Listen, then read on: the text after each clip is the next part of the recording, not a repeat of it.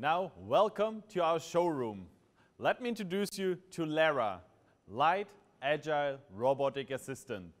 I mean, Lara is made to assist you and me. And Lara is a cobot. Lara has six axes, so it means it has six degrees of freedom, and is collaborative, so it means over touch. So what's very, very special about Lara is actually the design, how she's made. Once, she's made to be super low cost. And the other side, she's made actually also to, very, uh, to be very easy to maintain. Because until now, if you want to have something low cost, it's very difficult to maintain. Lara is different. Lara is super, super easy and fast to maintain. Also, we have two different versions of Lara. Lara, we have uh, what you see here is actually Lara 5. So it means she has a payload of 5 kilogram and has a reach about 800 millimeter. We have also one different version if you want to carry something more heavier. So it means we have Lara 10, and there's also a new version coming very soon. What is very special about Lara? I mean, Lara is a cobot, or there is already cobots existing on the market, but this cobot is actually made to, to work also with, with different uh, environments. Like Lara is made to be very easily set up in different environments. So it means today maybe you make your job here, tomorrow maybe somewhere else, or even in maybe some hours. So this is why she's designed very, very lightweight. We have a very, very high precision and accuracy like in path and also in position and repeatability because of our new encoder technology which we developed to make her very, very precise, to be different than the most cobots because she can also do super, super precise work.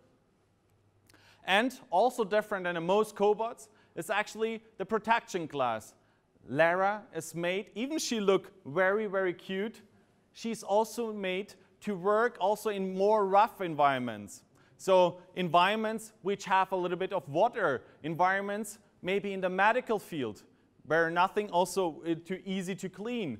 Like there's many environments what she is made for and what we are right now uh, certifying for. So also very special, also different than the most cobots.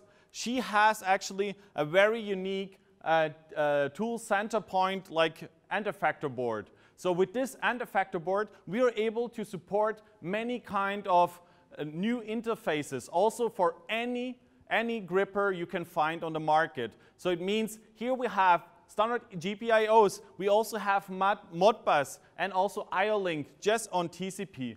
And for the future of the grippers, we have also EtherCAT and CAN bus to support all kind of force torque sensors, maybe even our own one. And also we have um, some control buttons to actually program the robot much faster and easier, just also without a teach pendant.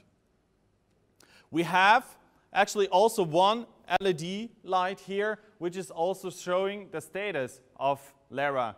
Like, what mood is she in? Maybe she has some issues. She will show you through this LED light uh, what you see here.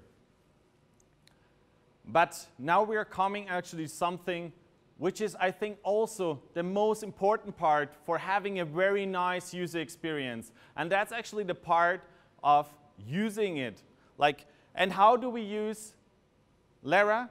Actually, we have some ways. One is, like I said before, over the buttons, over zero gravity, and the other is over a very nice and very clean user interface and very easy user interface like a smartphone. So let me come right away into this like user experience. We, we shouldn't wait now, or we wait already a long time. So let me just start to just turn on Lara and show you what she, how you can use her. So in one side, you can just actually click on any kind of axis and just start using her. Or like, so if I want to move her, I don't want to, I don't have to think a lot or whatever. I just click on the axis and move the axis. That's actually how easy she is. Also, there is some other features like you turn on zero gravity. From now on, you can just grab her and actually teach her by just putting her in any position you want. And from here also, there's a record function. So it means you can actually record any action, what you're doing now, and also then stop it and also play it. How to program her? Like all our, our robots, we are programming her over a very easy user interface. And that's actually over, a, how to say it, a drag and drop function. So it means everything you want to program, you just grab it and put it in a position and also adding the points because also the points right away popping up to tell like which point do you want to have into this program. So actually to